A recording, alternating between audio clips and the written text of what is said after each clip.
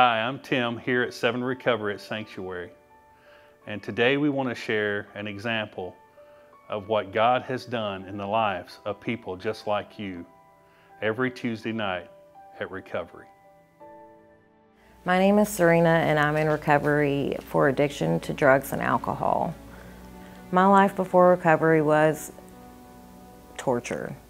I was living a double life that no one knew about, and I lived in active addiction for nearly 20 years. I was highly functioning. Um, I took care of my kids every day. I went to work every day, so I flew under the radar. I didn't hit a rock bottom like most addicts do.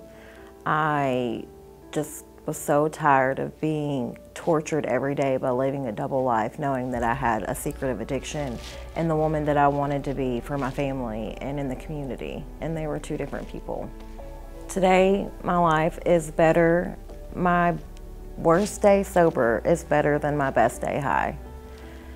Um, I have started to regain the trust of my kids. I have started to rebuild my relationship with them. Um, addiction created a wedge between my family that only I could get rid of, and I was ready to give that life away. I leave this place feeling high on sobriety, feeling high on recovery. I'm here, I'm having fun with my sisters, we're laughing, we're singing songs of praise, and then we have those intimate moments where we share our deepest, darkest, ugliest things with each other, and we know that there's no judgment and we're only here to support one another. And it just leaves me with a peace that I can go into my night knowing that, hey, I've got this family that I can come and share this with the good, the bad, and the ugly, and they accept me for exactly who I am.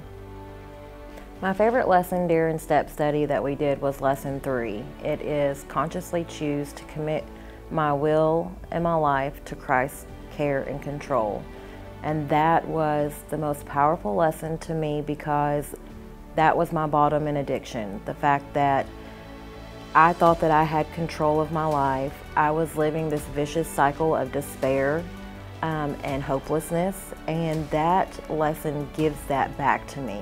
It lets me know that as long as I give my life and my will over to Christ and His care and control, that everything is going to get better. And that's the hope that I needed to pull me out of the dark place I was in.